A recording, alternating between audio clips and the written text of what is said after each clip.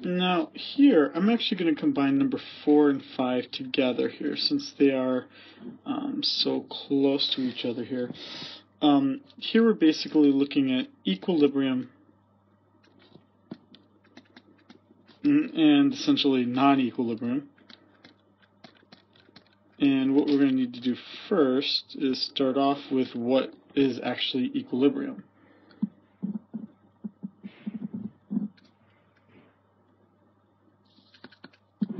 Equilibrium would be where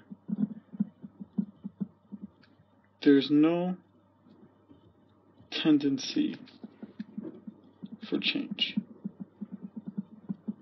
Basically, we're at a stable point. Unless something odd happens, um, we're going to be basically stay at that point.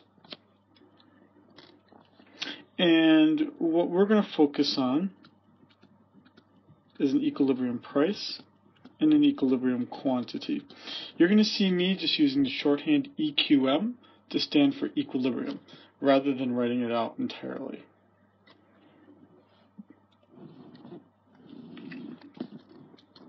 So here's my quantity. This is the phone's market. Here's my price.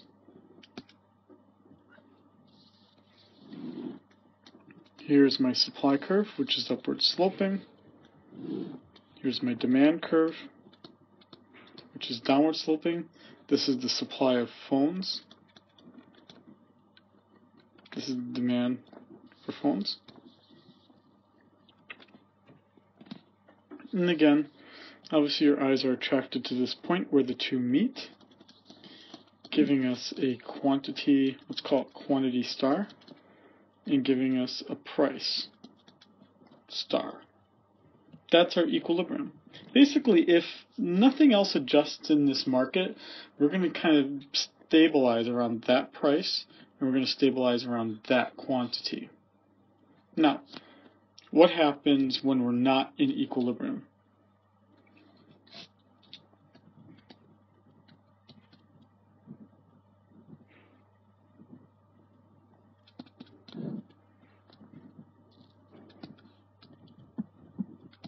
Essentially, there will be changes.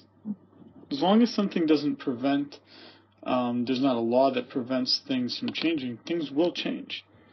Let's look at a situation where I have a shortage, hmm, which we can understand in a very informal way as too much being bought.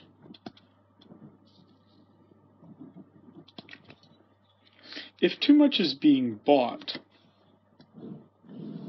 the way that that looks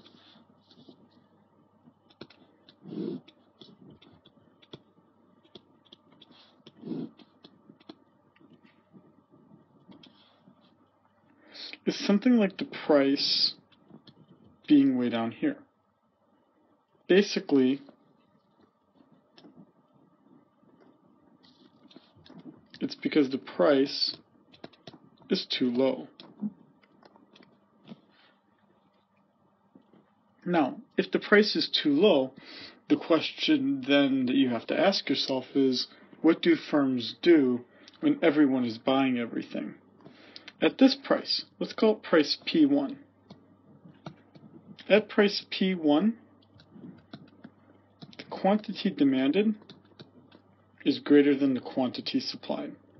How do I know that? Because at price P1, that's where my quantity demanded is, and at price P1, this is where my quantity supplied is. So quantity demanded is greater than quantity supplied. That's our shortage.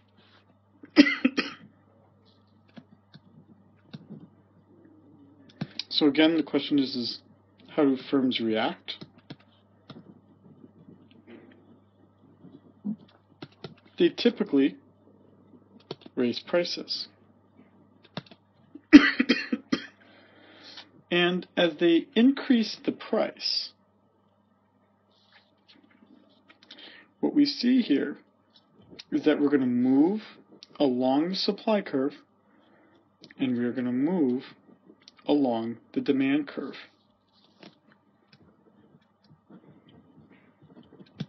As the price rises, quantity demanded will fall, quantity supplied will increase.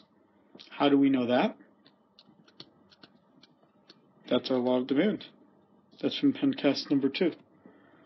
Why is, as the price going up, why is quantity supplied increasing? That's our law of supply. And so what you see here is that basically the market fixes itself. If the price is too low, just because you made a mistake and there's nothing else stopping the price from changing, the fact that there's a shortage will cause the firms to raise their price. And as they increase the price, they're going to keep raising it and raising it and raising it until they reach the equilibrium. Because what happens then, as you see here, is that the difference between these two curves keeps getting smaller and smaller and smaller, meaning that the amount of the shortage is getting smaller and smaller and smaller until there's no shortage anymore. The other way that this could exist is with a surplus.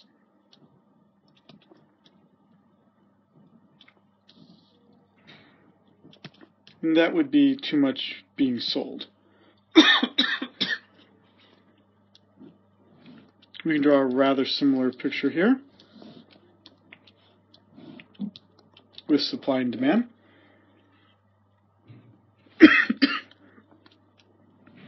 Again, now our problem is that the price is too high.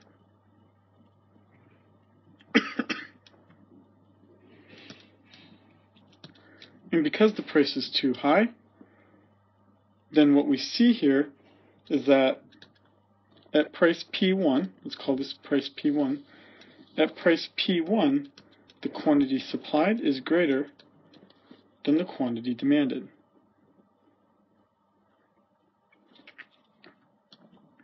How do firms react?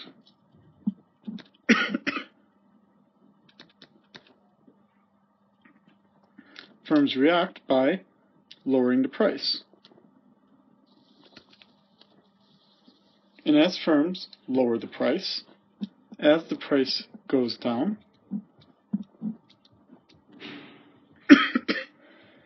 the surplus amount gets smaller and smaller. As, uh, just to keep this on the same page here and keep this a little easy here, I'm just going to write this over here. As the price falls, the quantity demanded increases and the quantity supplied falls. And how do we know that? That would be our law of demand.